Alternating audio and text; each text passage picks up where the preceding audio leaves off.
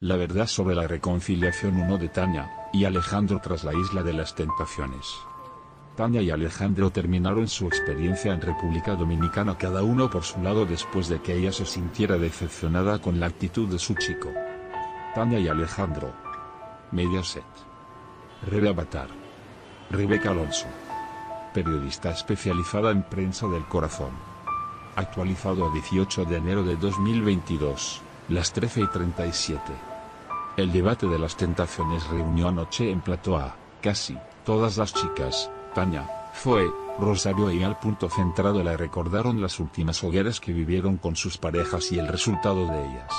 Tania decidió irse sola dejando a Alejandro totalmente roto, Zoe y Josué apostaron por su amor a pesar de los celos. Rosario y Álvaro decidieron emprender caminos por separado entre lágrimas, y al punto centrado la Nico sentenciaron su relación para siempre pero, ¿qué ha pasado seis meses después?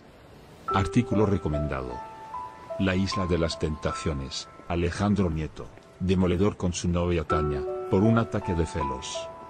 La isla de las tentaciones, Alejandro Nieto, demoledor con su novia Tania, por un ataque de celos. Todos los protagonistas han tenido tiempo más que suficiente para aclarar sus ideas. Aunque muchos han reafirmado su decisión, otros como es el caso de Tania y Alejandro dejaron a la audiencia con dudas. La joven se sinceraba este lunes, y reconocía que se fue sola porque no vio en Alejandro un atisbo de perdón. No vi lo que necesitaba de Alejandro, un te entiendo, un perdóname, y vi que era imposible entendernos. Recuerda. Thank you for watching. Sin embargo, y aquí llega la bomba. Han vuelto. Ambos decidieron darse una segunda oportunidad. De vuelta a la realidad, la pareja mantuvo una larga conversación y quisieron luchar por su amor.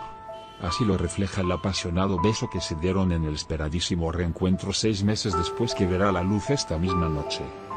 Tania y Alejandro Mediaset. Sin embargo, no todo ha sido perdón, comprensión, amor y fantasía.